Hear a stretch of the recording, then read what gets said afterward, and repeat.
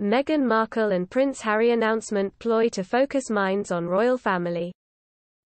Meghan Markle and Prince Harry's presence at the Queen's Platinum Jubilee celebrations was announced on Friday. Helping the royal family to now focus minds on their work. Meghan Markle and Prince Harry fueled speculation about whether they would return to the UK to mark the Queen's Platinum Jubilee in June. A spokesperson for the Duke and Duchess of Sussex confirmed on Friday the couple will indeed be with Her Majesty to mark the historic occasion. Bringing their two young children along. Royal expert Alastair Bruce suggested the announcement will now allow the royal family to focus minds on the work of the monarchy rather than Meghan and Harry's plans.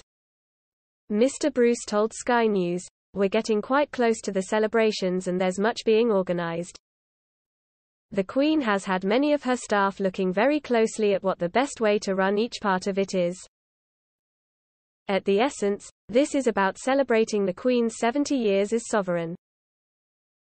And I think the palace will want to make sure we focus on that and don't get distracted from all the noise that has come about over the last years. About various members of her family and that this will perhaps everyone's minds on the people who are committed to the monarchy.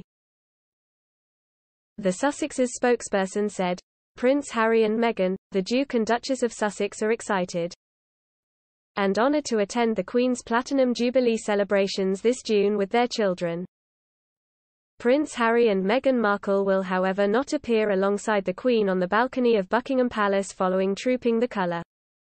The palace said in a statement Her Majesty had decided to have only working members of the royal family with her for the iconic appearance. Prince Charles and Camilla, the Duchess of Cornwall will be joining her alongside Prince William and Kate. The Duchess of Cambridge with their children. The Queen's youngest son, Prince Edward, will also appear with his wife Sophie. The Countess of Wessex and their two children with the Gloucesters and the Duke and Duchess of Kent.